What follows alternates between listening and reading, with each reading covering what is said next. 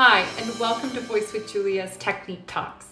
I had the pleasure of sitting down with dramatic soprano Othalie Graham, whose career has spanned all over the world, including places like Edmonton Opera, Nashville Opera, Palacio de Bellas Artes, in Malaga, in Napoli, singing roles such as Turandot, Aida, Lady Macbeth, and much of the other dramatic soprano repertoire. One of the things I think you're going to notice in our interview is how much Othalie stresses staying true to your technique, especially with the pressures of the outside world, um, different opinions on how a dramatic voice should sound and should operate. And she really stresses that it's so important that you know your own instrument and you know what you should be doing and shouldn't be doing. Um, and I hope that those who are watching that sing in the dramatic Fach or are looking to expand into that repertoire, I hope you really listen to this interview and learn from her experience because she has such valuable information to share. So, without further ado, I present Othalie Graham. Voice with Julia.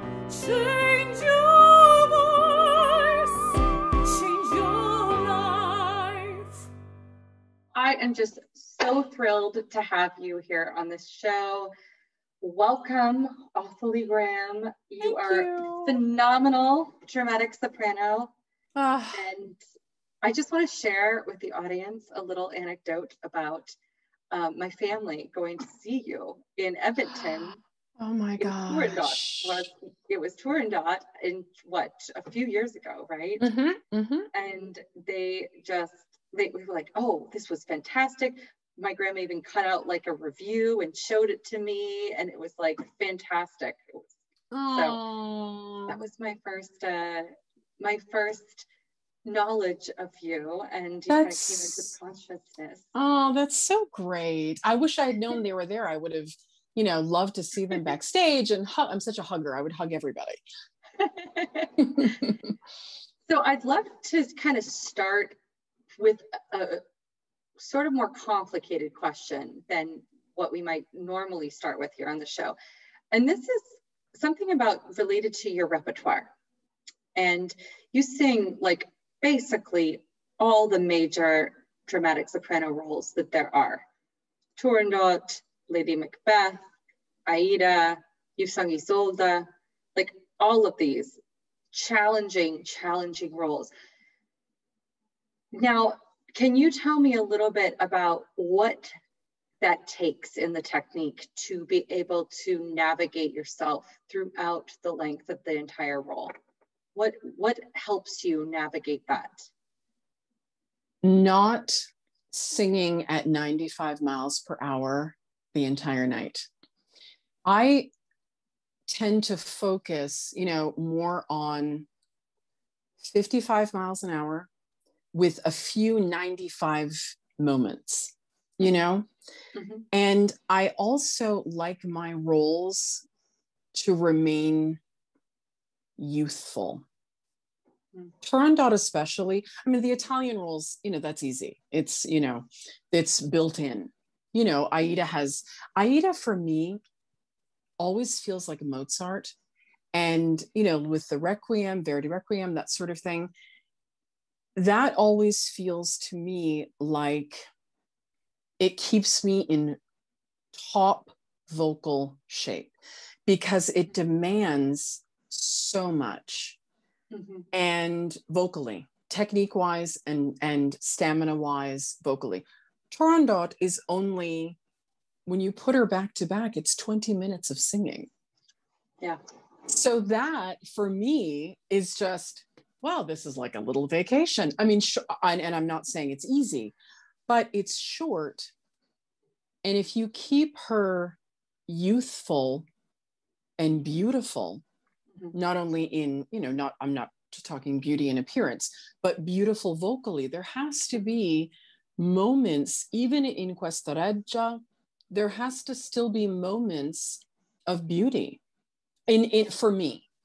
You know especially when she's you know speaking of her ancestress you know there, there has to be moments still of beautiful singing mm-hmm. and and for me i i try to keep that in in all of the roles and following what is written in the in the music there's a lot of piano moments pianissimo moments and mm-hmm. you know big dramatic sopranos have pianissimi and and we use it yeah so i want to unpack that a little bit mm-hmm. because mm-hmm. you talk about singing at 55% instead of that 95 that maybe you go into a couple times what specifically is that what, not what does give, that mean for me i don't i don't say 55 miles an hour I, I think about it like I'm driving my car.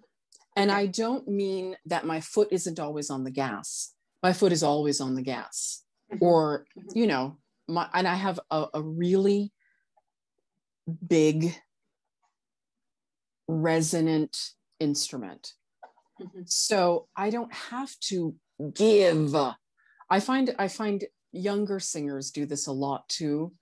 Mm-hmm. I'm a dramatic. I'm going to give and it's like you give too much uh, you know there's those they say that you know those those uh, older divas are like no no she give too much.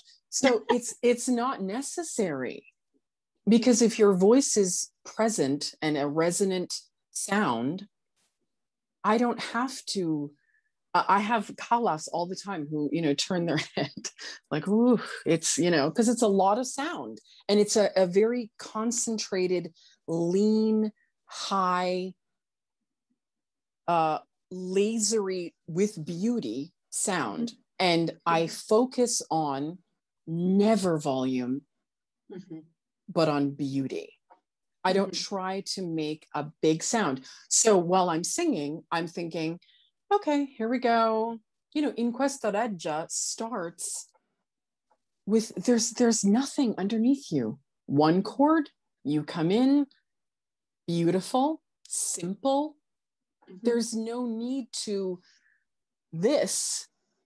You know, it's early in the night. Come on now. there, there's there. So when I when I say that 55 miles an hour, my my foot is still on the gas. Mm-hmm. My voice is engaged, but I'm not this. I save a few of those moments, and sometimes it's a you know quite a few moments, but quite a few in some shows. But you know i save that. There, there's no need for that because the people in the back the people you know in in the the uh, stalls in the top they can still hear me perfectly. And mm-hmm. sometimes as you know as a singer singers who who um, give the voice gets smaller and i wish people understood that yeah. When you're this, yeah. your voice does mm-hmm. Mm-hmm. immediately, immediately. Right. That excess pressure, that tension takes away the cut of the overtones for sure. For sure. So what does the when when you give 95 miles per hour, I like that miles per hour. when you go there, does that feel like that's a volume change? Is that a change in breath pressure? What what is that? It change in vowel, change in No, for me it's just a change in intent. Oh, okay. I I don't think about you know ferocity or but in the character you know i could give a little let's say volume i could give a little more a little more uh, depending on what the moment is, mm-hmm. if it's a, a, you know, grido moment or whatever it is, I'll give a little uh to the sound, but not here, of course. Right. Um, but I, I'll feel like a little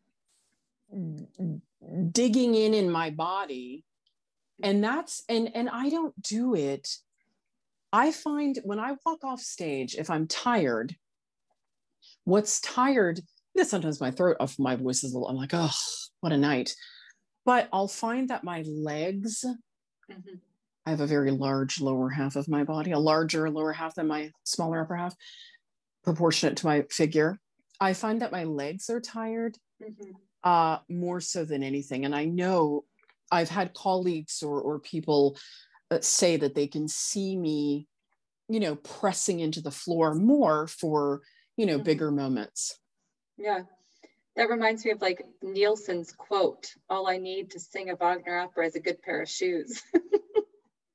I mean, that's it. And it was, it, Nilsson is one of my favorite singers of all time. And, and yeah, I mean, truly that she sang, and people don't know, or who don't know the history of, of opera, she sang so many Aidas at the Met. Yeah.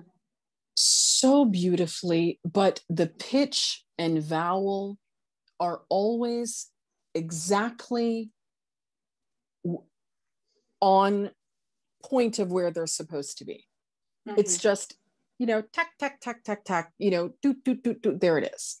Mm-hmm. And and it's a very clean, high, lean sound. And in her Verdi Requiem, in her other repertoire, Aida, she mm-hmm. sings piani, pianissimi, exactly as you're supposed to do, and yet had what people consider a huge voice, but it wasn't huge this way. No. It's huge this way. And this way is the way that lets the people who are sitting outside hear you. Yes. yes. so let's talk more about this way. What is this way to you? What has happened with this way? Could we talk about that? Yeah, I, I know. Pe- what has happened?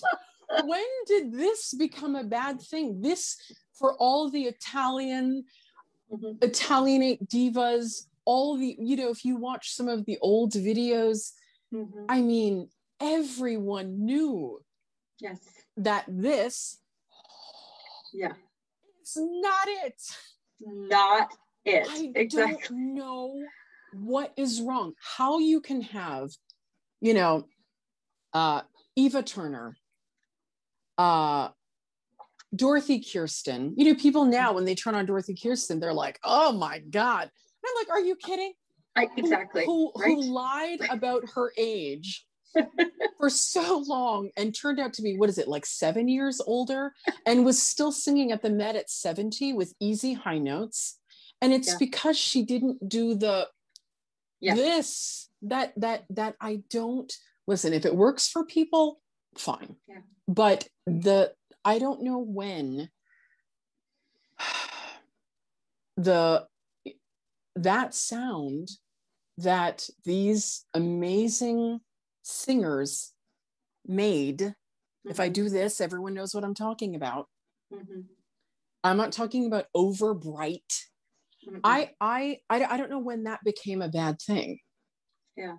And when everyone started to go more towards this pulled back, darkened, overly darkened sound, mm-hmm. there are a lot of singers who have naturally dark instruments. Mm-hmm. I am not one of them. I have never had, and especially amongst African American singers, a lot of them have this gorgeous, um, round, rich voice that is naturally inherent in their vocalism. Mm-hmm. So when I stand up, you know, I walk in, and if you don't know me, for let's say, an, uh, I don't know, an audition or rehearsal or something, people immediately expect a certain thing. Mm-hmm. And then when I start singing, it's like, wait a second, that's that's not the sound we were anticipating but that is not my inherently natural sound and i was very mm-hmm. fortunate uh, that my first voice teacher Lois McDonall very british uh, school of singing canadian british mm-hmm. uh, recognized immediately my natural ease of production and didn't try to make something different. Brilliant. Which a lot of people no longer do. And I Right. don't understand how that beautiful Bianca Scacciati, that that sound became the enemy. Yeah. You know, even when if you listen to recordings, you know, Millo, all of them had that Mhm. gorgeous and and her if you listen to her doing you know these things we hear on zoom you know all the singers are like yes yes because this is what we know to be true Right. So true. I'm just, I'm just saying that you Yeah. know if if if your natural inherent instrument Mhm. is that beautiful rich sound great Mhm. I don't know when we started to manufacture and think it was better to to have that darker sound if that's not your natural sound. Right. Right. I think that there's a, a very big misunderstanding. Um, and especially now uh, with, you know, everything being virtual, there's a big misunderstanding between voice size and voice color. Right. You're like, yep. My voice does not is not one of those voices where you can say, let's set up a ring light in the living room and Othalie is going to now perform. You know what? I- No, my voice is not for that. right. Right. If you would, you know, I, I just and and the people who can do that and who have been doing it, Mhm. God bless you. I Mhm. am not that voice. Yeah. My voice is the girl who's, you know, way up high on a platform and you're you bought you're in the standing room seat and you're saying wow that i can hear her you know that's what that is Yeah. and i don't know i have i have a lot of we know people Mhm. whose voices sound so big in rehearsal in the rehearsal room Mhm. and when you move to the stage Oh, yeah.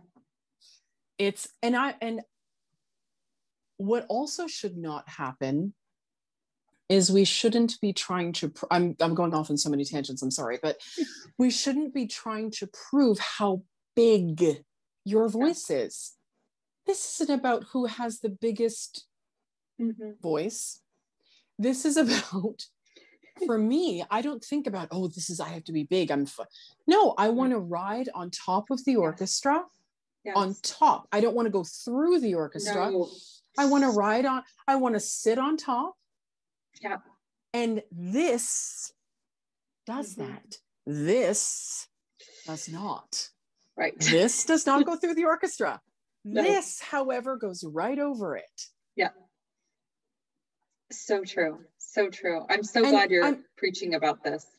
Well, because I, I, in addition to, let me not get off on the tangent about, you know, singers, you know, coming younger, very, very young, who have a phone in their hand and don't know, you know, even who Gwyneth Jones is or any of the, you know, I'm, I'm not even talking about, I'm not talking about uh, Ava Turner, uh. Eva Turner, or, you know, Scacciati or, Yeah.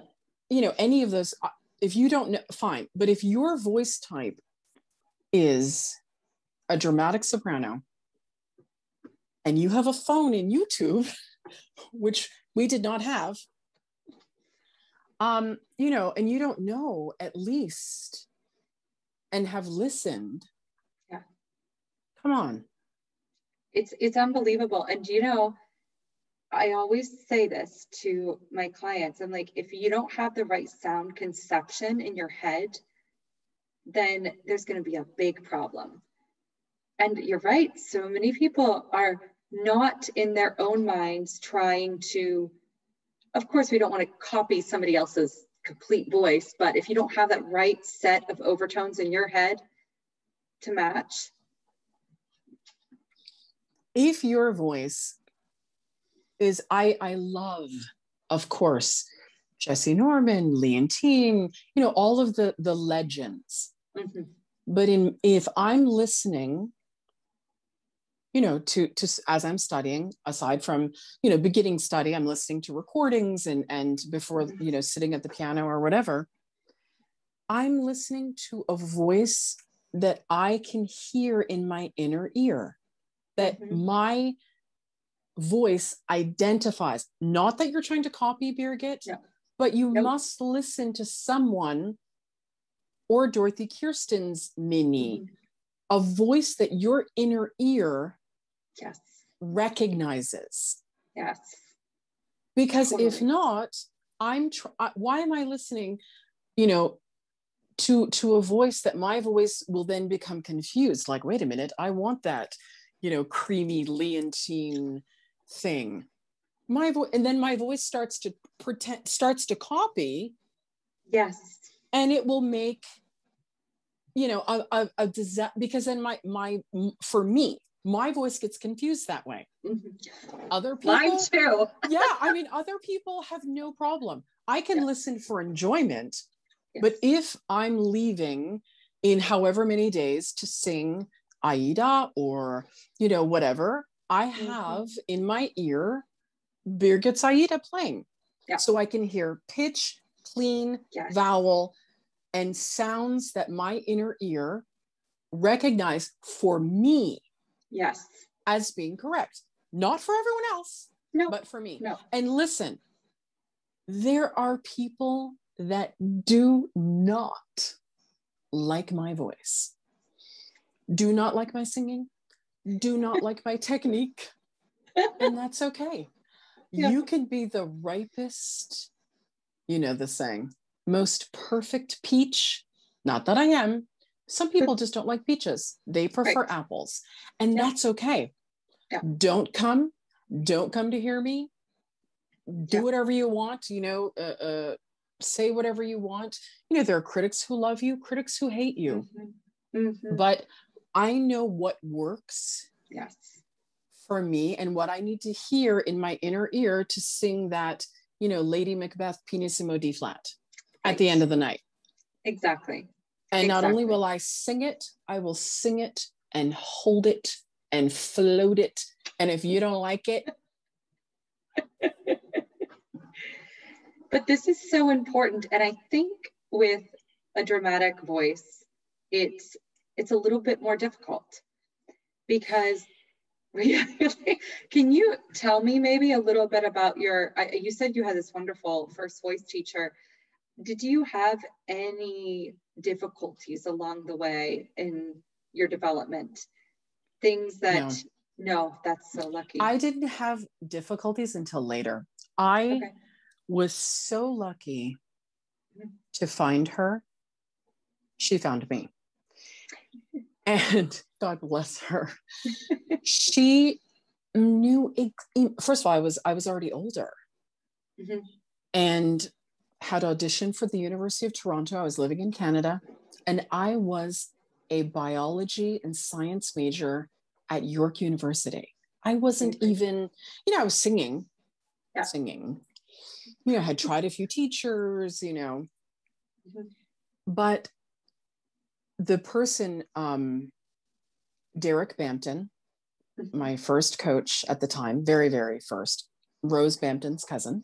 I was just talk about ask, talk okay. about talk about opera history. yeah. And uh she he said when I didn't get into the University of Toronto, you know, he said, you know, they don't, what are they going to do with you? And I was like, what do you mean? I could do, you know, scenes or, you know, and it wasn't even that I was a dramatic soprano. She, so he said, I'm going to invite someone. No, no, he didn't even tell me. I was having a, a coaching mm-hmm. and the doorbell rang and he said, Oh, there's my guest. And I thought, Oh my goodness, you know, I still have 30 minutes. Who's here?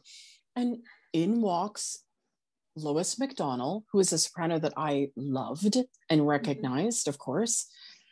And I thought, oh my God, you know, so I he said, okay, we're going to keep singing. Then she got up and sang a little bit of, you know, what I was singing and did a, you know, a little bit of work with me. And she said, Okay, I'm, I'm going to teach you. And I really didn't have a teacher. So I said, Okay, sure.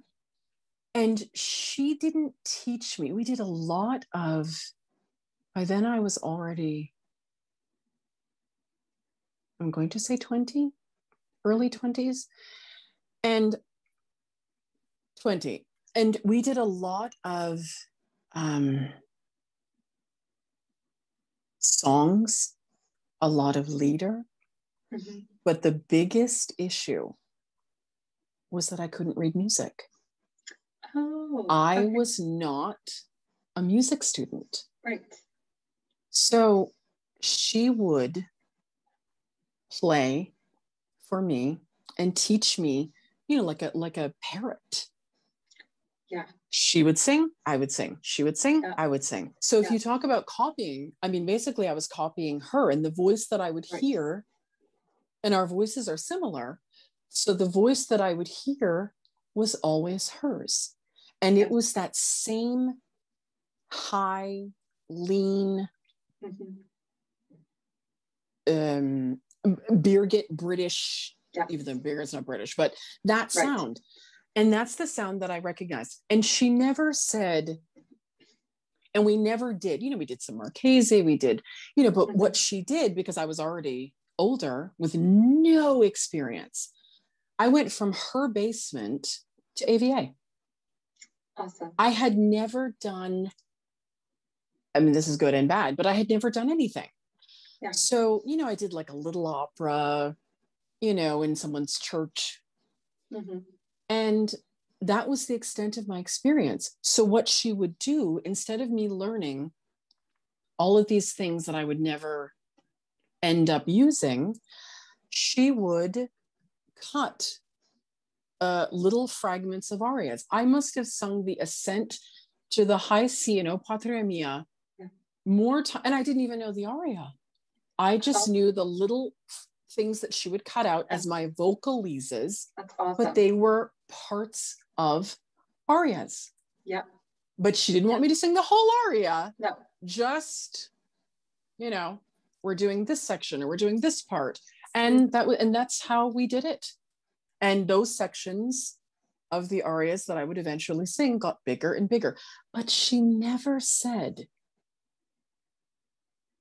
I didn't know anything about, you know, dramatic soprano.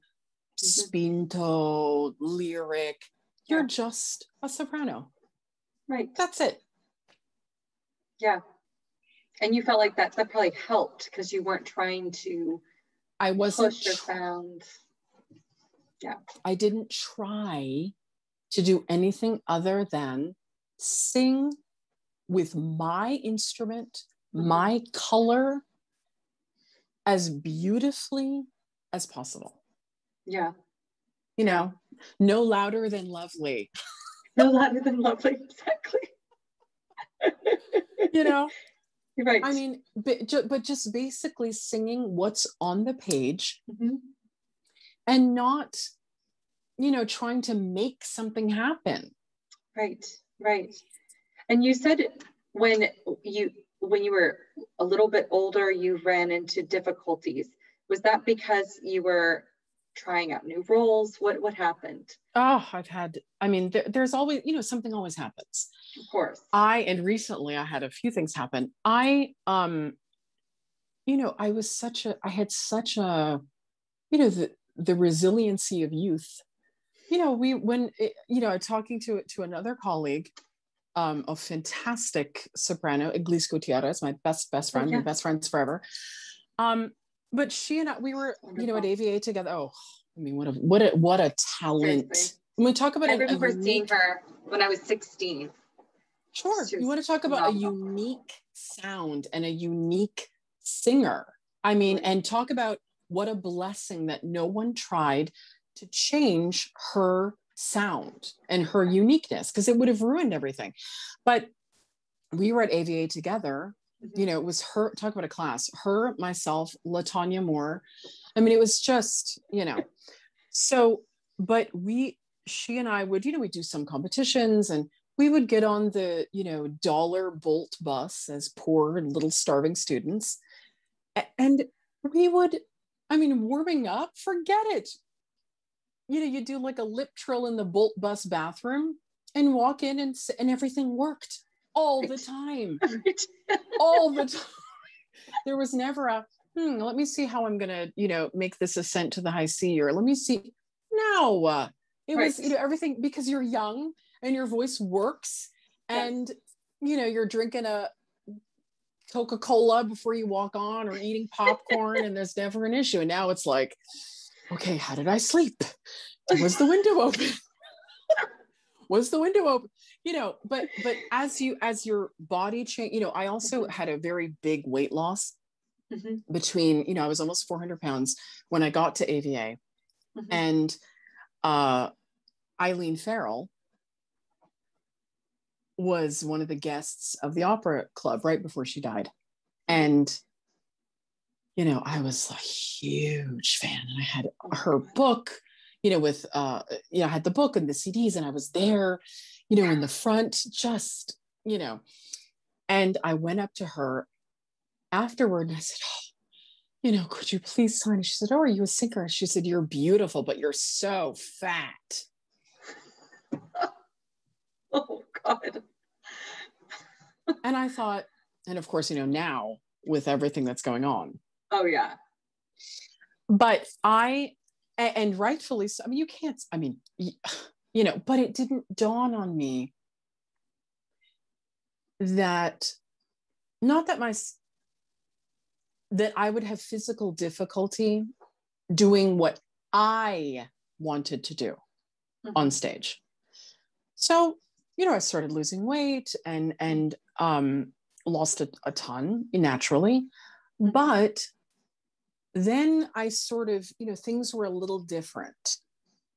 Yeah. And as I'm losing weight again, hopefully to finally make it to my goal weight and be where I want, where I for myself, mm-hmm. I have to put that in there, yep. want to be, you know, your body changes as you get older, your voice changes, roles change. Yeah. You know, sometimes a little wear and tear on your on your voice, things change.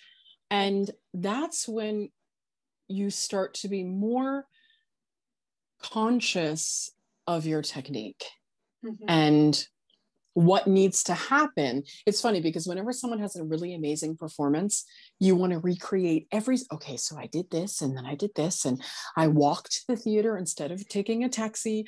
I ate this, so I need to eat that again. You know, people I always hear people say, "Well, yesterday was so great and I need to do that again and this is what I need to do, you know, to make that happen." but you you do have to be more as you as you go through your career mm-hmm. things happen. And it's funny because we've all had things happen in performances.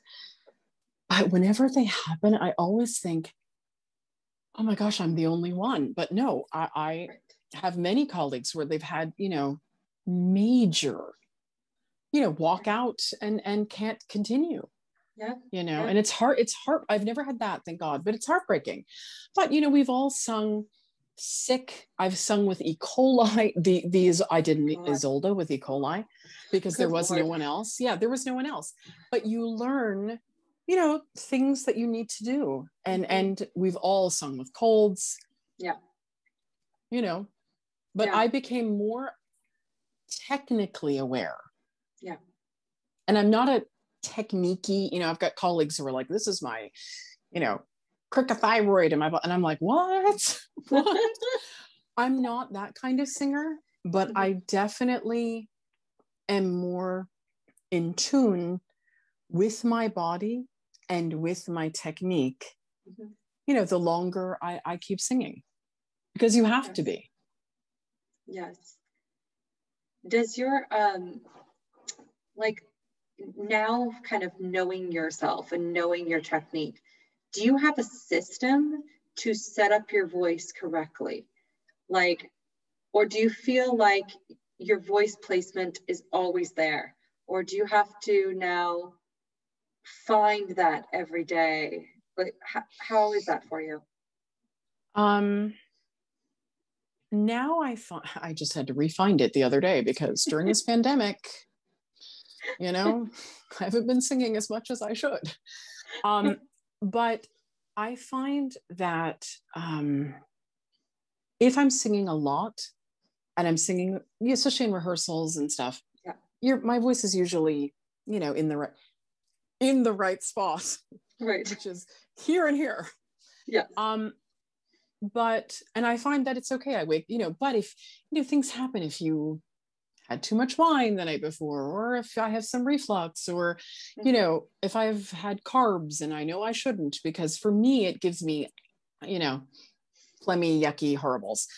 Uh, or if it, for women, if we are menstruating, or you know, then I I really, you know, so let's say I have a dress rehearsal Wednesday Mhm.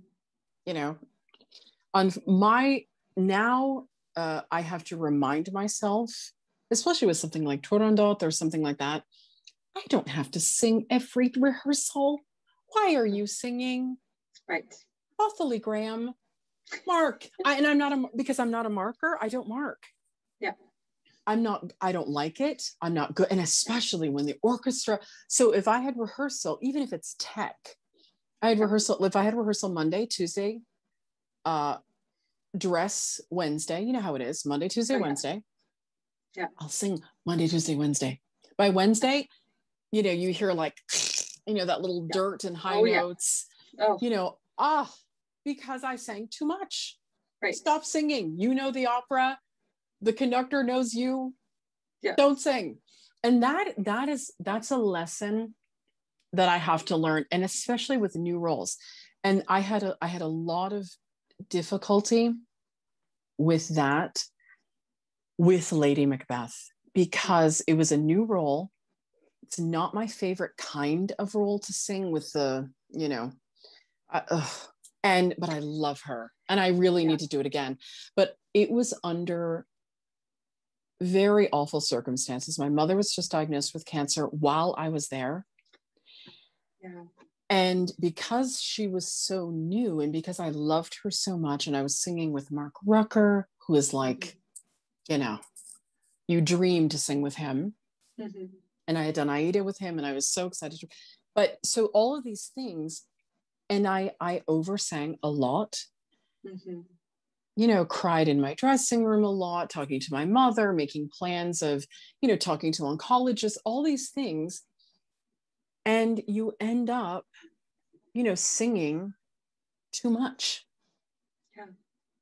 And when I was younger, and I would and I would always be, especially in my repertoire, I was always the youngest in the cast, the most inexperienced, especially, and the youngest. And I Mhm. would see these singers mark, mark, mark, mark, marking, marking, marking, marking, marking, marking.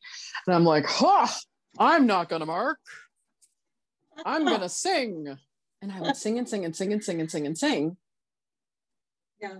And I had a colleague say to me, God bless him, you know, you're not getting paid for today.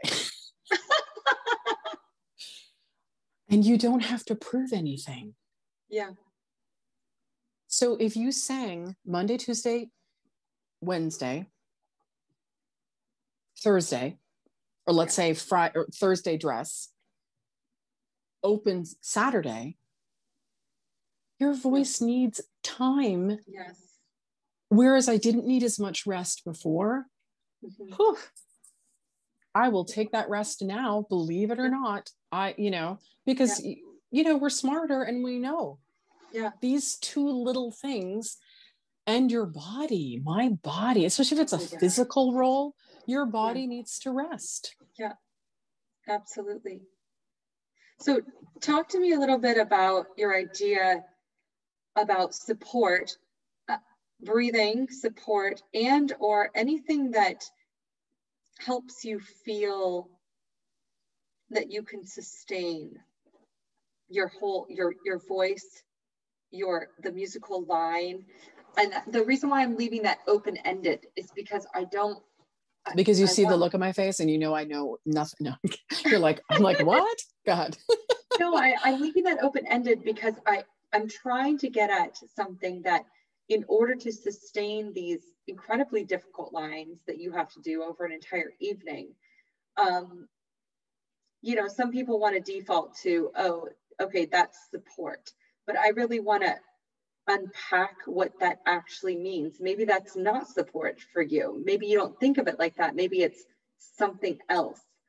So I just kind of want to look at the aspects of your technique that you feel you have either now or at one point had to sort of intellectualize to optimize. That makes sense. I find for me, I don't think of it as supporting my voice. I like to come in, you know, breathe before mm-hmm. and come in right on the note, not scooping up, not all that stuff. But I always thought of high placement, low support. That was always my mantra mm-hmm. high placed, low support. I always took a good, I'm, and I also notice a lot, and it's been pointed out to me that I'm a big nasal breather. And if you hear recordings, you can hear me. I am too. And I think, yeah. okay, well, I mean, it works, you know, but for me, that I don't, that's what I, I don't think of supporting my voice. I think about taking a breath, a good low breath, of mm-hmm. course, not, mm-hmm. you know, we all know, we all know that. Well, we don't all know, but we should. we do see this and and i i've i'm i some i've done it myself where i'm yeah. you know about to sing and i yeah. and i make that face i'm coming in you know and I, i've had you know a, a coach pointed out like what are you what are you i don't but i i think for me when i breathe through my nose as rudimentary as it is, it immediately goes to the place I want it to go. Yes.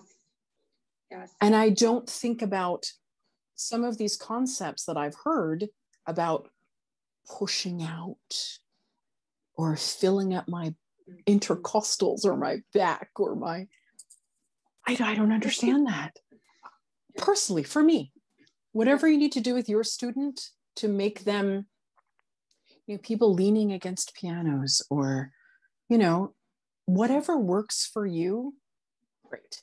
For me, if I am nervous, I'm always nervous. If I'm nervous, then I can get a high clenched breath. Mm-hmm. So I do, you know, the the my favorite that I just discovered a couple of years ago is the alternate nasal breathing. Love it. Where have you been all my life? I mean, you know, and you will see me backstage mm-hmm. because I find it calms me down. Yeah. And I don't mean calm like, oh my God, I'm so scared, but my adrenaline, yeah. you know, I want to get on stage and I love these people right. and I want, so it, it sort of calms me down, but it also calms my breath. Yes. Keeps my stomach you know, pliable. Some people love to be corseted and have something to lean against. I'm not one of those people. Yeah. Um, I like to just let my, you know, stomach and guts hang out. Mm-hmm. I don't pull it up mm-hmm.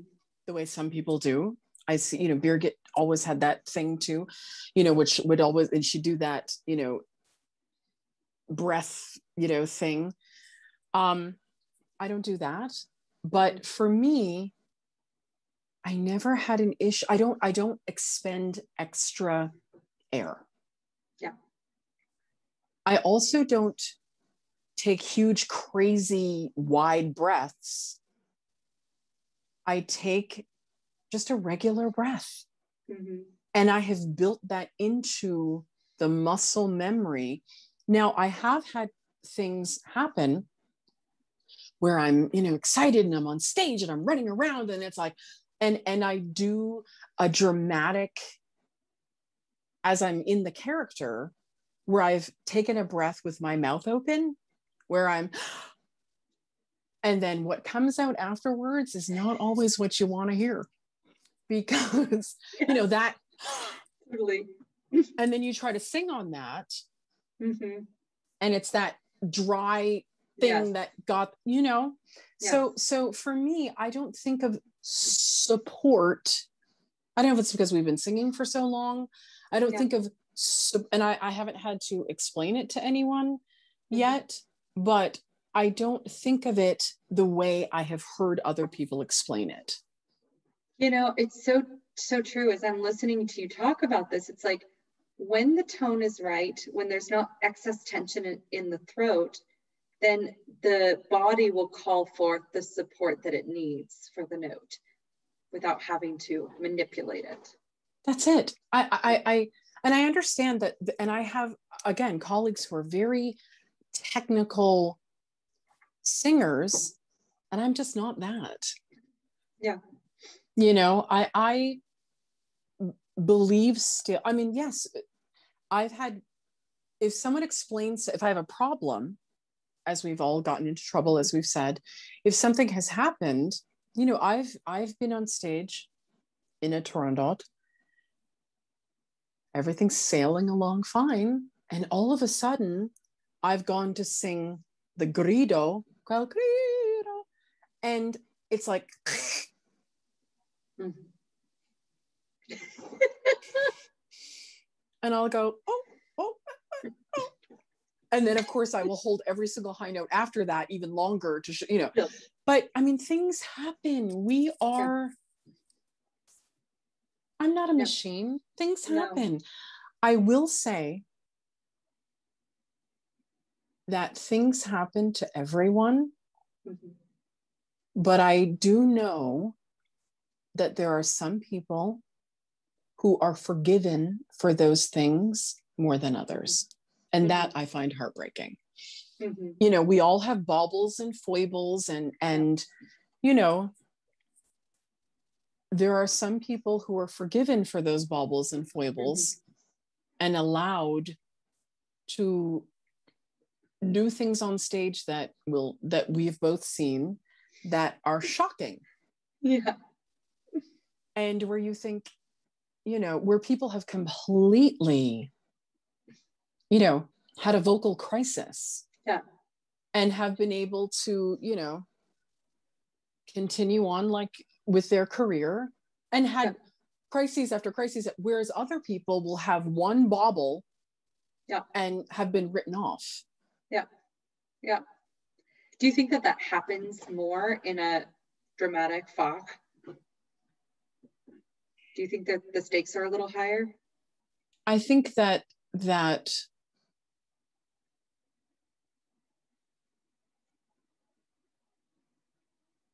I think that I don't know if it's just a dramatic Fach because it's happened to a lot of, you know, people. I mean, there are tenors who, you know, things happen. I mean, think natural things happen. Yeah. Whereas other tenors have had to, or or sopranos, have had to work twice as hard to get half as far. Mhm. Mhm. and you know you we've been on stage and you go okay well i had a you know a few and people are less forgiving Mhm. and and I, I think that a lot of people don't understand how difficult it is truly Mhm. to be a singer you know these these singers will sit in the audience you know who are still in school Yeah. And they don't know what it is Yeah. to be on that stage title character or not and to to have a career Yeah. a career not to sing you know a show but a career things Right. happen you know uh, lois said to me when i was younger life happens while you're singing Yeah. and so many things have happened to so many colleagues Mhm. you know deaths and births and mm-hmm. and and all of that you know affects your vocalism you know things happen and it affects your you know colleagues going through you know chemo and and still singing and you know it, it's uh it's and i've always had so much compassion mm-hmm. for my colleagues even the ones who have been really difficult mm-hmm. because I find that they're difficult out of the business sometimes makes you difficult mm-hmm. um difficult yeah. um but also out of out of you know fear and out of wanting to to do your best yeah. so i've i never I, i'm i've never i just let people do you know do their own th- i've been in some pretty harrowing situations with colleagues mm-hmm. and and in in good ways too i mean but but you know we're we're and i and i i just go and sit down in the rehearsal room i'll let you all figure that out i'm just going to go and sit down and uh you let me know when you're ready. but you know, but but Birgit was right in terms of of singing. You know, once you've done the wood shedding and the work, mm-hmm. you need a good, comfortable pair of shoes, and you know, hope that you sleep the night before and hope things work exactly. out. Exactly. Yeah. I'd love you to tell me, kind of as a as a little gift to the audience, a little ender, I'd love you to tell me about, um, you know, you mentioned this beautiful pianissimo high D that occurs in Lady Macbeth. Okay, it's a difficult, everybody waits for it. And how do you approach that? What are some tips you have for that? Pray a lot. No, I, for me, for my own vocalism, again, the high lean sound, I have always, and this was Lois, and then continued, you know, mm-hmm. with with Bill Schumann, my voice teacher, and my coach Jeffrey Miller. Mm-hmm. I have always, on my own, vocalized the way you would expect a higher coloratura soprano to vocalize. I've always done, you know, bah, bah, bah, high staccati, mm-hmm. high, high, high, high, high, high, high, high, high. I'm all sometimes, you know, by the time I get to the E flats, I'm, you know, 10 cents short, but you know, I'm still always stretching yes. my voice. For that note, I didn't re- when it when that role was offered to me, I of course I knew the opera, but I didn't realize all of the things, you know. Mm-hmm um, I knew by then that I could sing piano, I could sing pianissimo. And when I went to, I did Aida in Italy with Marcello Giordani. Mm-hmm. And uh, I mean, fantastic. Yeah. What, what a loss. My God. What a voice. Yeah. What a man. His mm-hmm. wife, mm-hmm. you know, incredible people. And I was scared out of my wits. I mean, truly, out of my yeah. wits. Yeah.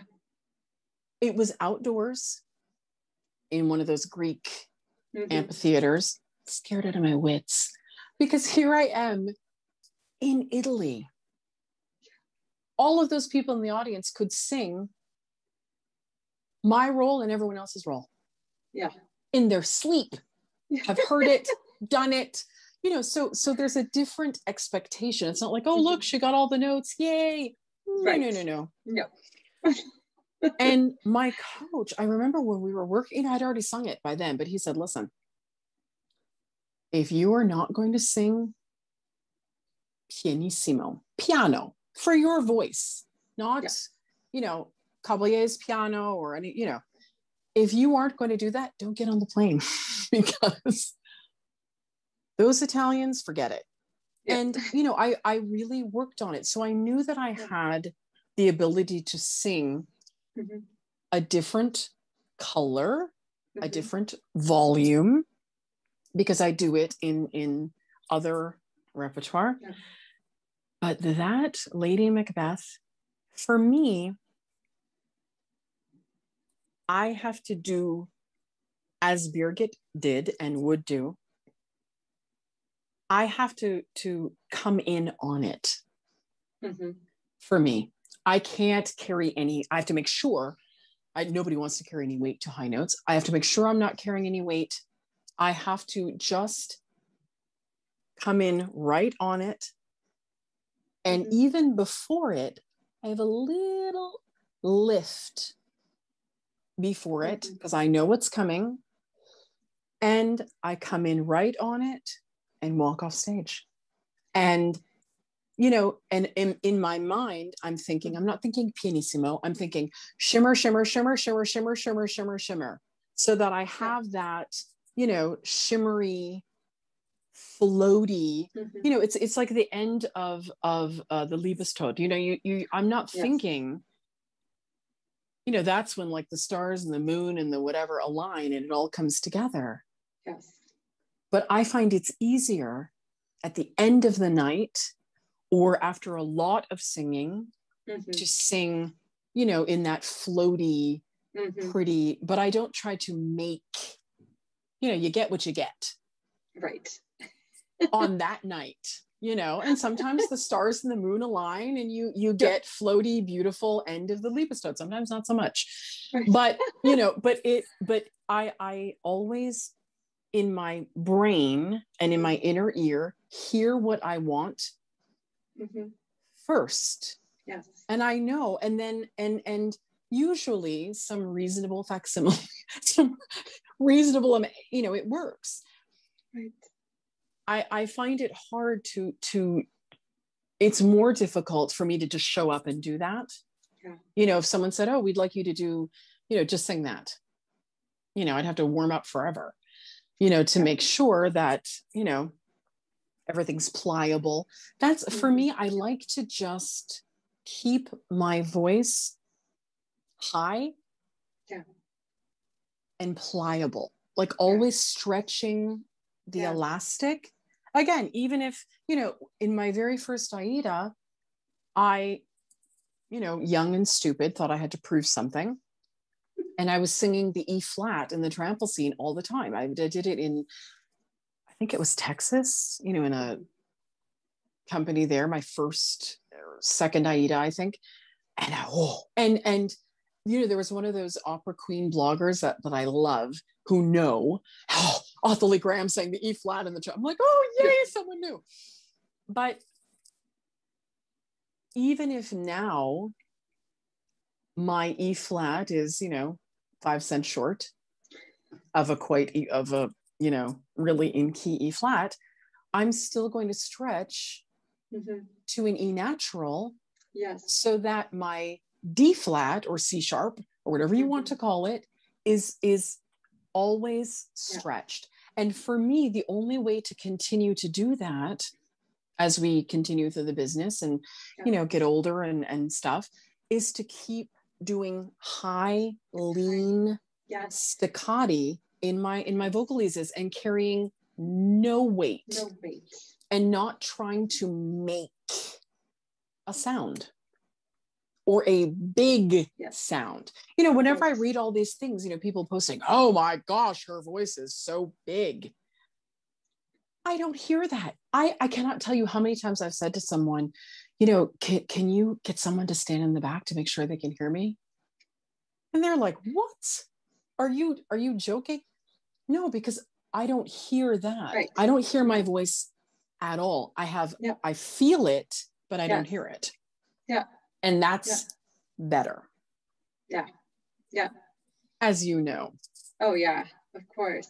with our similar That's- production. Mhm. it's it's scary to trust though, right? That that trust thing is a huge mental leap.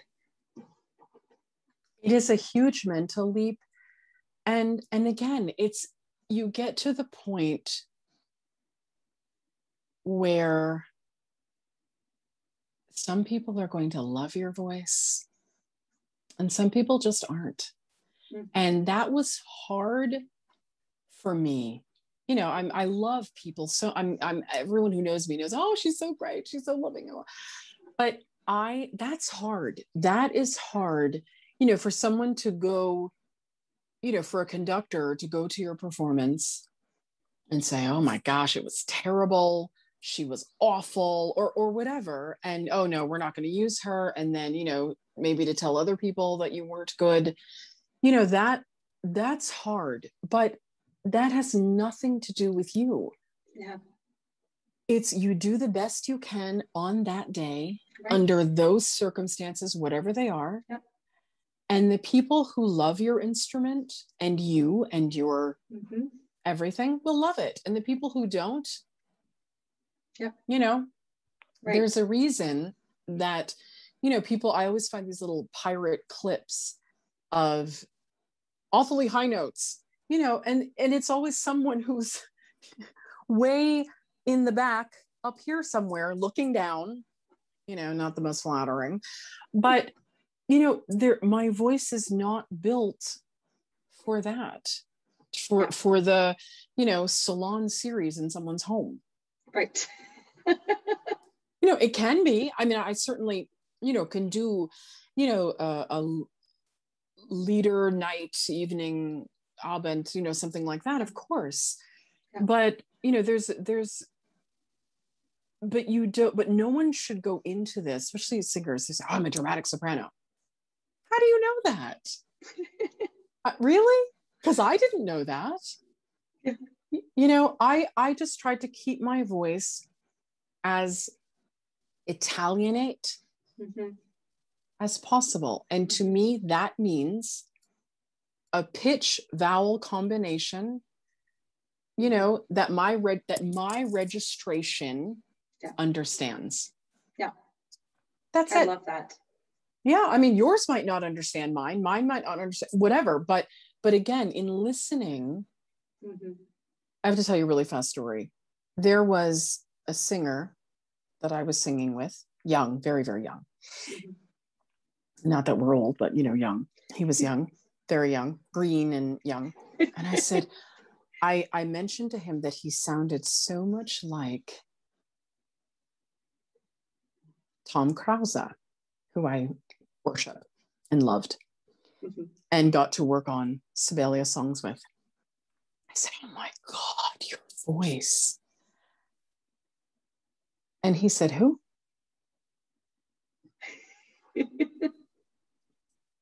and it took everything in me not to throttle. Like because you know you have to listen to singers from the past. Yeah. and listen to singers live. Oh yes. Yes.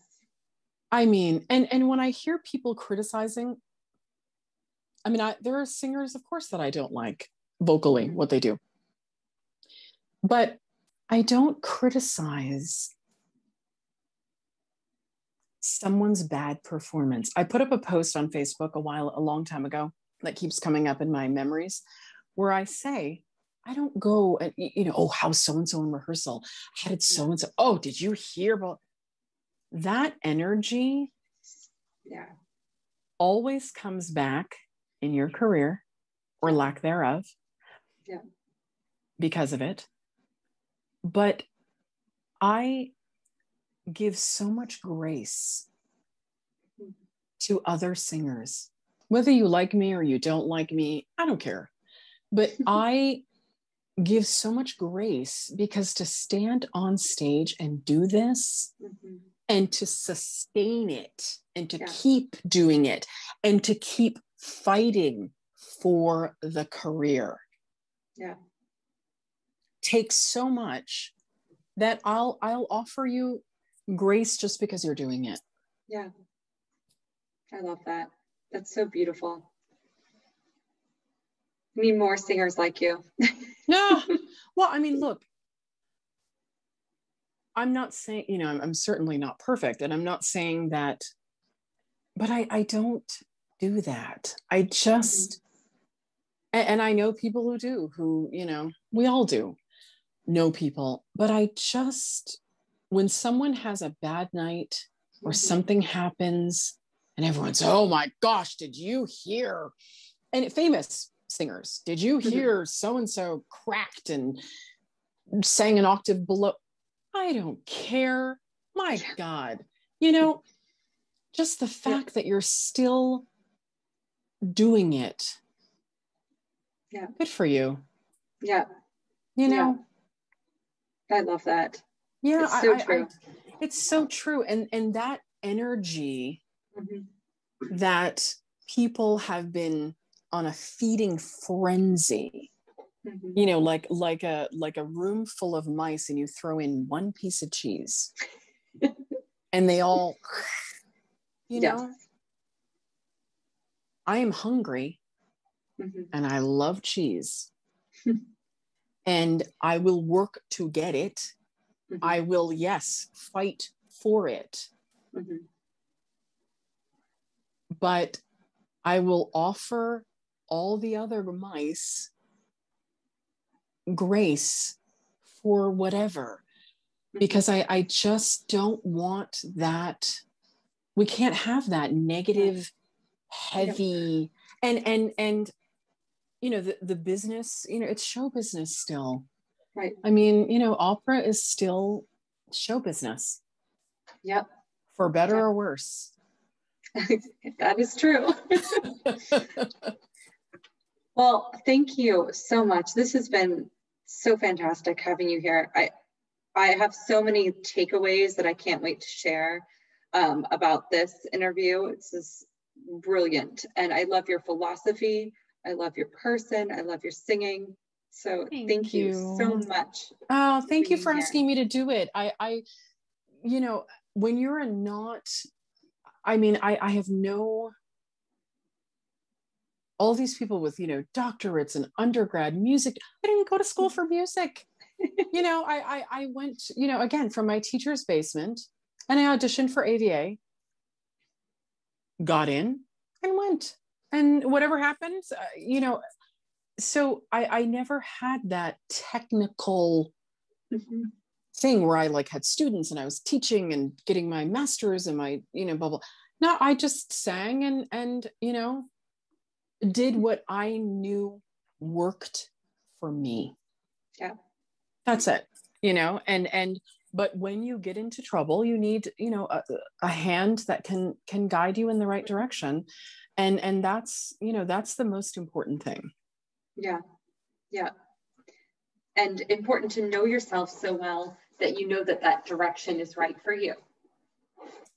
Yeah, and that that goes along with the same thing that we said about listening to things that make your ear flash green Mhm. instead of flashing red like oh i don't understand i don't understand that so whatever sound you know is your you know your inner ear sound totally. you know that's that's what you go with yes. and and there's nothing i mean there's nothing wrong with that you know i, I had a friend say the other day um you know i listened to to one small takeaway i listen to study recordings that's how i learn my roles Mhm.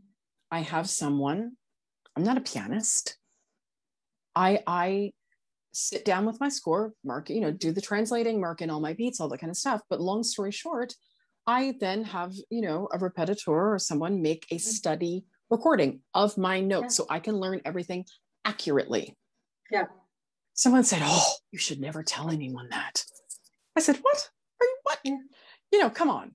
No one cares how you learn it. They care that when you show up and that also goes along with listening that Yeah. you know the same thing that you listen to things Mhm. that are accurate musically language all this stuff yes of course but that are accurate for your voice Yes.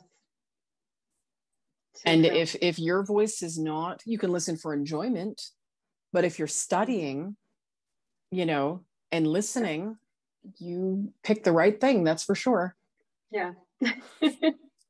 totally. we we know how that goes Oh yeah. Oh yeah. how many times did I try to sound like Renee and it just didn't work out? Oh, I mean, okay. you know, me listening to Leontyne and hoping that suddenly this, you know, creamy, rich gorgeousness will suddenly, you know, I mean, your my voice is is my own beautiful instrument, Mhm. Mhm. mine. And you know, those who love it, love it, and those who don't, exactly. Well, thank you so much. I'm gonna thank you. I'm gonna just be posting and, and sharing all of our takeaways so everybody oh my gosh. There's so many. share the I, I don't wait. know I'm I'm wondering if there's anything of value but okay Lots. Well, so nice to see you. And so nice to see you finally I know. and looking know. forward to our singing together Yes. I mean It'll I think that we look I think that we look like sisters Electra Totally. don't you Absolutely. I think so. I th- I think so you know I mean I, I- there yeah there are so many things that we can do but Turandot and Liu I mean we would be Yeah. so Absolutely. we'll do it you know in a production somewhere or in a concert version somewhere i think i think there'll be a lot of concert versions of things coming, up, Oh, yes. given absolutely. the you know the pandemic Absolutely. yeah Well, thank you so much. thank It's you sweetie thank you